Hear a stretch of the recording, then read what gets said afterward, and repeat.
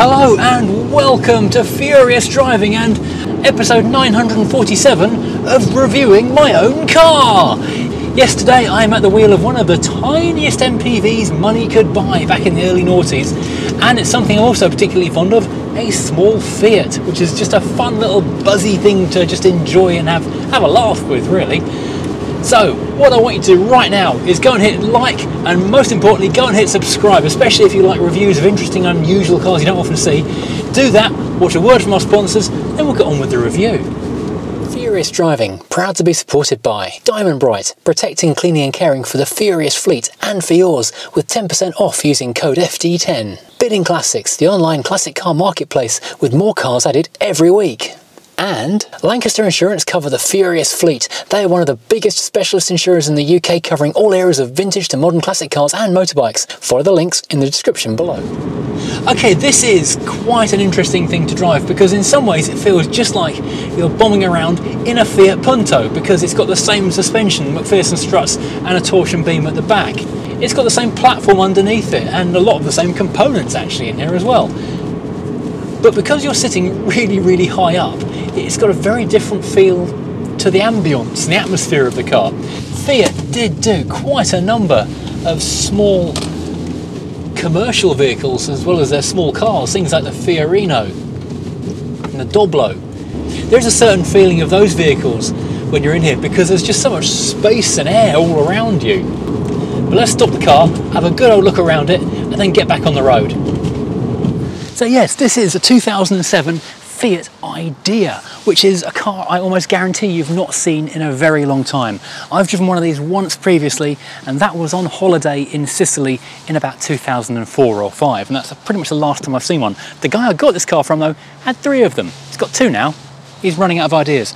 Anyway, so this is quite an unusual thing. Before the advent of SUVs, MPVs were a big thing if you needed to move families and stuff. They're actually a much more practical solution because for a smaller footprint, you get a lot more inside the car. This though is based on the second generation Punto, the Type 188, which in itself is based on the Type 1 Punto, and they're both built on the Fiat Type 4 platform, which means this is as well. It's shared only with two other vehicles, the Lancia Ypsilon and also the Lancia Musa, which I'll come back to later on. Now there's one little misconception I'll quickly nip in the bud right now because when I revealed this car the other day, a lot of people assumed this is actually shared on a platform with a uh, Vauxhall or Opel Meriva because it does share a lot of similarities, both released in 2003. Both have this unusual eight light pattern with the quarter lights front and back. They're both basically the same size pretty much and do virtually the same thing and look very similar. In fact, there's no similarities whatsoever under the skin. This is based on the Fiat Type B platform, same as the Punto, the Meriva is based on the Corsa C platform. There was, however, a tie-up a couple of years later because the Grande Punto and the second generation Meriva are based on the GM Fiat combined SCCS, Small Common Components and Systems platform, which just trips off the tongue. Equally tripping off the tongue is the name of this car, the IDEA, which actually is an acronym, believe it or not. Apparently it stands for Intelligent Design, Emotive Architecture. And do you know what that means? It means someone really wanted this to read out idea on the boot. Anyway, looking at the styling, you could be forgiven for thinking it's actually Panda related because the shape of the arches, the bumpers, the squareness of everything. It does have a heavy Panda influence, but it is really based on the Punto Mark II, which is a much sleeker thing, although the Mark I Punto is the pretty one with the curves. This is what they call a mono-volume design, meaning it's just one big, simple block. You could just take one big blue Duplo Lego block, boom, you've made a model car. This is it. And the idea behind this is it's maximum internal volume with minimum exterior space. I think they may have been a bit gun shy after the furore of the multipla because they've played it very safe with the styling. It was actually designed by Fabrizio Giorgetto over at Italdesign, so there is big motoring design royalty behind the design of this thing, but it is, it's not bland, but it's not exciting either. It's inoffensive, I think we'll call it. But this car has two trump cards up its sleeve. First of all, it's a fun thing to drive. We'll take it out on the road in a minute and we'll have a little blast and see what you think. Secondly, is extreme practicality. Okay, it hasn't got clever clap hands, doors and no B-pillar. It is regular doors, but they are enormously tall doors with huge apertures for getting in. People say the reason they like SUVs is because they like the high access position so you can climb in easily, just slide in. And I've never known anything that was designed to make old people's lives easier becoming a fashion accessory before. Will, will we be having sit-down showers and Zimmer frames as fashion accessories soon as well? I don't know. But around the back of the idea is once more form following function. They've given it a few little crisp edges and things to try and add some interest to the shape, but ultimately it is a big box to carry things and people very efficiently. One thing it is of note though is this badge, the Fiat roundel on the back with the laurel wreath around it. The Mark II Punto was the first time this old badge had been brought back for quite a number of years. They've gone for quite a few other designs, notably the blue italic slash one for quite a long time. But in the back of the car, it is a ridiculously practical proposition because first of all, we've got what is actually quite a good boot for a car so small, even with the seats in their furthest back position as they are right now. But to give you an idea of how much space is in here, this bag is pretty much maximum airline carry-on and that can go in end first. And there's room for, I think, three of those side by side next to each other under the carpet we have got, and heavens to Murgatroyd, an actual, real, honest to goodness spare wheel. It's only a small wheel on this car anyway, so it doesn't take a lot of space, but oh, the joy of seeing one of these things is palpable. Okay, let me show you some clever stuff with these seats. These seats are super clever. First of all, they fold in a 40, 20, 40 situation, so you can flip down any or indeed all of them however you wish. Secondly, they recline. They go forward, all the way forward, or back to 60 degrees, meaning you can put a lot of stuff in the front or the back, which is very adaptable indeed. And these levers front and back, so you can do it from the boot or from the cabin.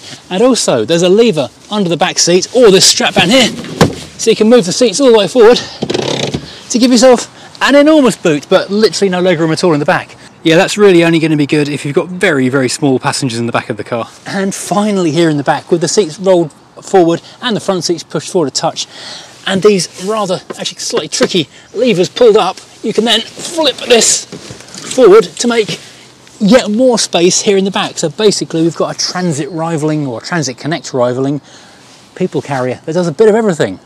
So basically this really is a jack of every trade and there's a Werther's original under there. Oh, free sweets. Mm. I'll show you the cabin in detail in a second, but first of all I wanted to show you the last, well I think it's the last, there might be more, seat trick this car has because to recline these seats you have sprung loaded wheels on the in a section here. However, this seat has got an extra trick up its sleeve because that folds all the way forwards flat. So we've got a nice table here, the ultimate tea shelf here on the back of that chair. That recess for the rear passenger's knees doubles up as quite a handy stopping things slopping out table. You could actually set this like this, roll it forward, roll that back seat forward and stick an airbed in here and have yourself a slightly more stylish rival to all those pesky Berlingos that seem to be littering the internet at the moment. Right, let's take a look around the cabin and not just at the seats, but we'll first of all talk about the fabric that is on them, which is this rather wonderful silver and black uh, little checker pattern, which has got an amazing little shimmer to it. Looking over to the centre of the seats, they've got a pressed in pattern in the centre section up here in the back and the base, and we've got like a half leather or half pleather effect going on as well. The driver's seat you can also raise and lower, so get yourself nice and comfy in it. It's a long step up into that seat. Now back to the driver's door, it is a very, very tall door because it is a very, very tall, tall car. 1.66 metres tall this thing is, which is, well, tall. but let's look at the door handles. A large, well, it feels like actual metal, believe it or not. Well, it's probably metallised plastic. This is like an Volvo 700 safety aspect, flat into the door so you can't catch yourself on it. Big lift up thing. We've got four electric windows, count them four, rear lockouts, electric mirrors, everything you want. We've got a decent sized door pocket down the bottom, big door speaker just there. Climbing aboard, we have got up next to this little quarter light, aiding visibility out of here, in this very thick A-pillar tweeters. So we have got multiple speakers going on. Now this dashboard is a thing of curiosity. It's enormous and flat. Doesn't go quite as far away as the Volkswagen Beetle does, but it's not far off to be fair. In fact, as I try and reach down there, do you know what, I think actually it might be as far back as the Beetle. But it is a curious thing because it has got bins instead of glove boxes on top. Space enough for like a book or something on top, a smaller little well in the front, ideal for carrying liquids because then you can put the lid down and they won't slop on sharp turns. That's on both the left and the right side, exactly the same mirror image, and the instruments are here in the centre. We've got our speedometer way over to the left hand side. It's quite weird driving this at night with nothing at all in front of you because even a Mini, which has got the central speedo, has got a few lights and things around the back of the steering wheel. This though, everything is in the centre, so you've got blackness ahead of you.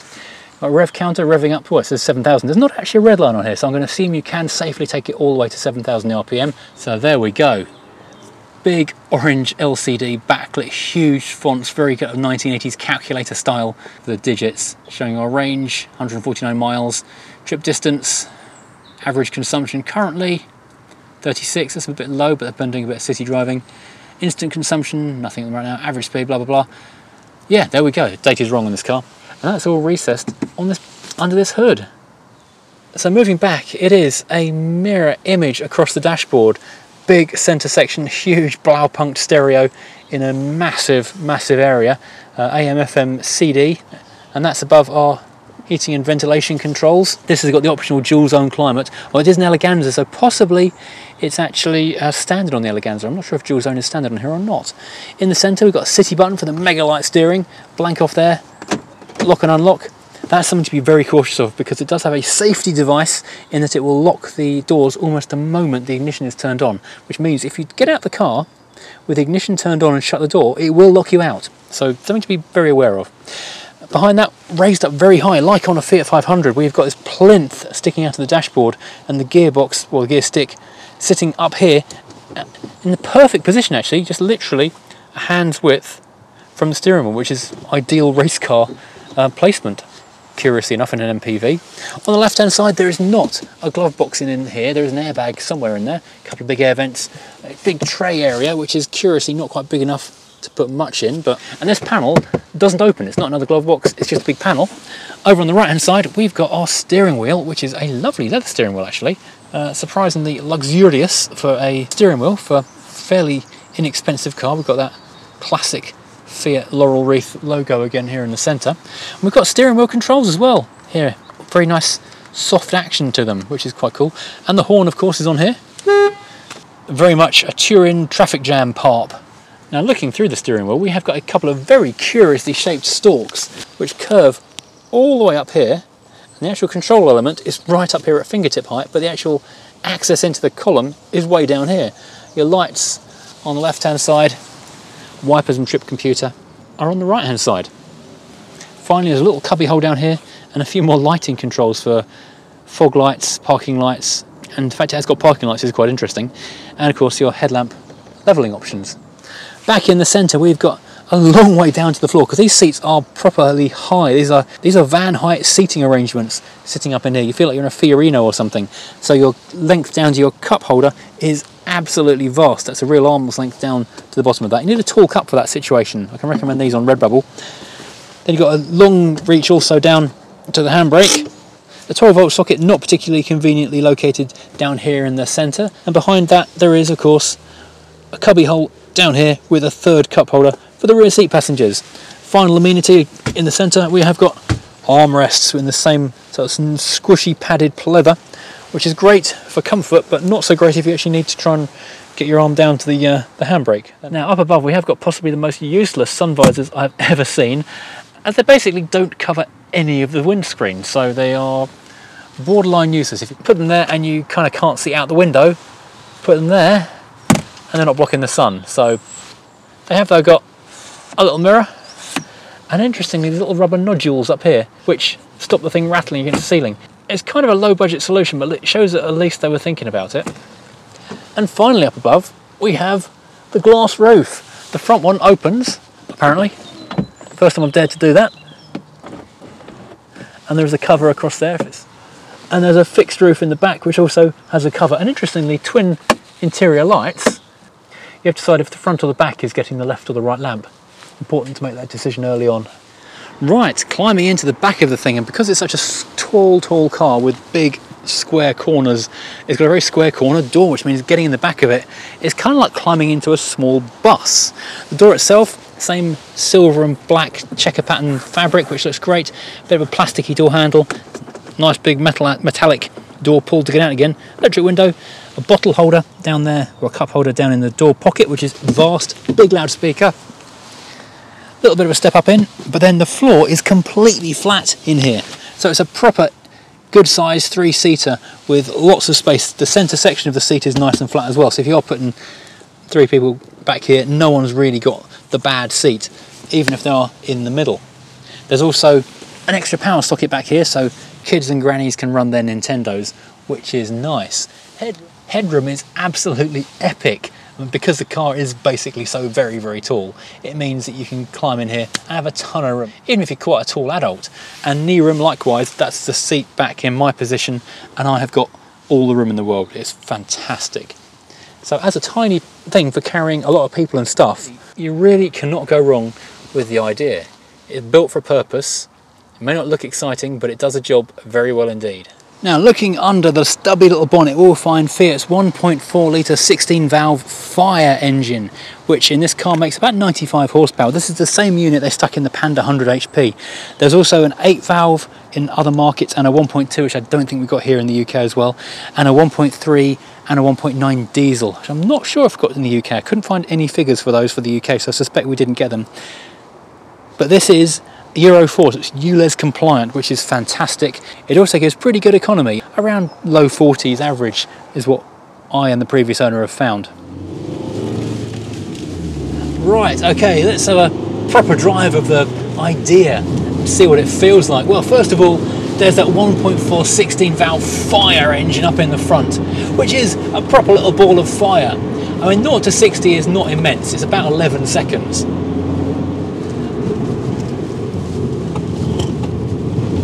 So it's rapid off the line, up to 30 or 40. It's remarkably brisk. It's, it's when you get into the higher speeds you start noticing the lack of oomph. It's one of those engines with more power than torque, so uh, it gets you off the line quickly, but then runs out of puff later on. We'll take it on a dual carriageway in a bit and I'll show you.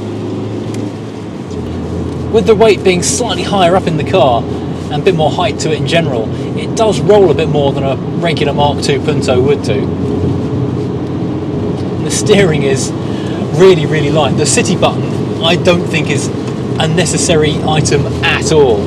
But there you go, it's, it's here. So if you really want to make parking an absolute doddle, that's what you need to go and do. Hit that little button. The pedals are really small and very light indeed.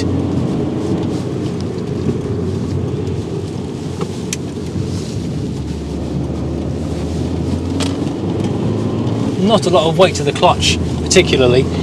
Also, behind and to the left of the clutch, there is a footrest, but it's actually quite hard to get your foot onto it, so you don't really have a place for your foot if you've got bigger than size 8 feet, I guess. The gear shift position is brilliant. Lift off the steering wheel, and the gear shift is just there waiting for you. It's ideal.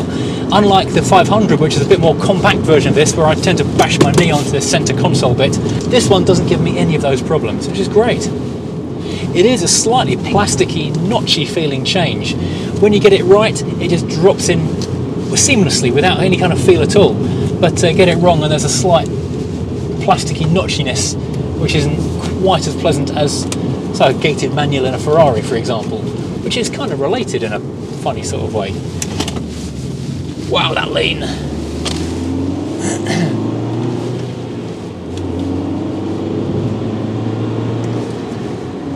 But visibility, considering how fat those A-pillars are, is surprisingly good. Because you've got these little quarter lights down here in the front, which help an awful lot. Great big tall windows all around you, which give you huge, a huge, huge view out of the thing. If it was light and airy with the glass roof, which is a nice optional extra to have, the only slightly awkward thing are these mirrors, which are a slightly weird shape. They're very wide, but not very tall, so you get a slightly weird view out. Okie dokie, so pulling on to a faster dual carriageway with the 1.4 16 valve fire. Power! 40 miles an hour. Yeah, this is kind of where we run out of puff. Fit 50, which is actually the limit along here, and we're kind of running out of puff. It will do motorway speeds quite happily. If you want to get up to 70, even a little more, it will do it It's just not as relaxing as a, a two litre or bigger, larger saloon or estate, which will just cruise just a little bit more quietly. One good thing about this car though is that because it isn't massively rapid at higher speeds, you're less likely to get caught out by an average speed camera or a speed trap van because you're less likely to be uh, accidentally drifting above the limit. Now I'm going back the way I came because I got caught out down that road the other day. There's massive roadworks, dual carriageway going down to one lane. No warning signs at all. No warning signs at all. And I sat there for about 15, 20 minutes and all I was doing was driving down to film something. That was annoying. So, although this wasn't a massive seller here in the UK, I believe there's about 500 of them left on the road, only 111 Eleganzas like this one. Um, they were very popular across Europe, especially in the home market in Italy. They sold them hand over fist because they are just massively practical. And in places like Italy, where the small car is king, this was a godsend. It replaced an even more forgotten car in this country called the Palio, which I guarantee you've never seen if you live in the UK. And uh, it was replaced itself by the Fiat 500L, which is a blobby big thing with, I think, actually less interior space than this. And for Europe, it was built in the Mirafiori factory. Let's watch it roll around this roundabout. Wow, that does uh, get some lean on, but it does grip pretty well. It's not the best tyres, but gripping quite reasonably well. Yeah, built at Mirafiori for the European market, but it was also built over in Brazil, where it was very popular indeed. And in fact, so popular, it spawned a soft roader version with jacked up suspension and plastic body cladding, which made it kind of more, not exactly off-roadable, but certainly a bit more, bit more chunky looking and could go into places where this one perhaps wouldn't want to go.